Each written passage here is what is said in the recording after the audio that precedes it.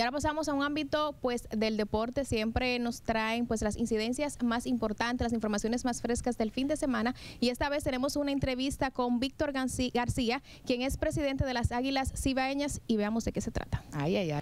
Eh, me siento muy contento de estar aquí junto a ti, eh, representando lo que es la gran franquicia de Águilas Cibaeñas, la franquicia del Cibao y la franquicia del país, porque en Santo Domingo tenemos tanto más fanáticos que en el Cibao. Águilas Cibaeñas tiene una gran tarea. Eh, y es la conformación de un equipo que Ángelo Valle junto al equipo de operaciones de béisbol han ido conformando. Con los mayores, que son los experimentados, los tradicionales, la vieja guardia y una casta de muchachos jóvenes que vienen ahí, como es el caso de Canario, que estuvo jugando hoy aquí en el juego de exhibición, Ezequiel Durán, Gerard Encarnación, que estoy loco por verlo aquí jugando, eh, eh, Perdomo, Christopher Morel y Leodis Tavera, que son esencia de la franquicia de Águila Cibaeña y que el pueblo aguilucho los está esperando. Yo entiendo que seremos la diferencia y junto a una eh, cantidad de pitchers, tanto tradicionales, veteranos como Maya, Elías, que esperamos que llegue pronto, eh, y otros, pues eh, que nos ayuden realmente a buscar el anhelo de toda la fanaticada aguilucha, que es la Copa 23. Hemos estado trabajando en lo que es la estructuración tanto del terreno y los bullpen, como del área de los grandstands, de los bleachers y de los laterales. Los VIP eh, viejos que ya se estaban cayendo, lo hemos cambiado. Eh, hemos cambiado la dinámica interna, los pisos, los asientos, o sea, aquellos fanáticos que pueden pagar los VIP y que han sido eh, abonados tradicionales se van a sentir muy bien.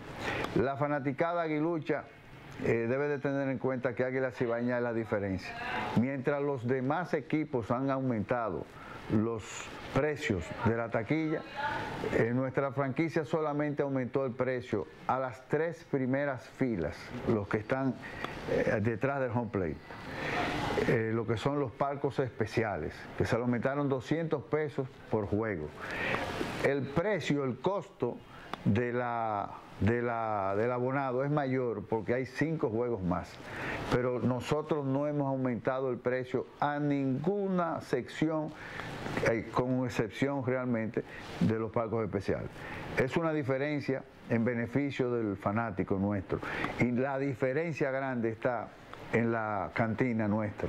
Estamos, hemos estado chequeando los precios de años pasados con los otros equipos. Sabemos que el, precio del año pasado aumentó aquí, en, en el Estadio Cibao pero con relación, en comparación con los otros equipos, el precio de la cantina de Águilas Ibaña está por debajo.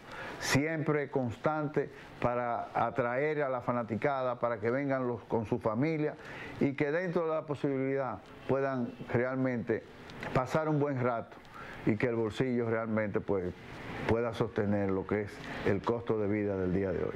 Siempre es el más alegre y el que más bonito está. El terreno de juego se ha hecho una gran inversión. Los eh, bullpen, los eh, pitchers nativos y extranjeros estarán contentos.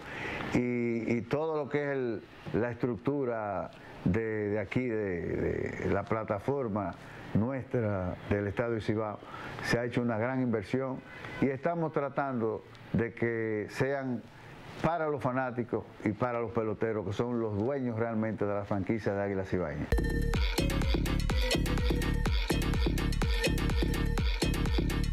Ahí estuvimos escuchando las palabras del señor Víctor García Suet, es el presidente de las Águilas Ibaeñas actualmente, a ley de días para que inicie esta liga.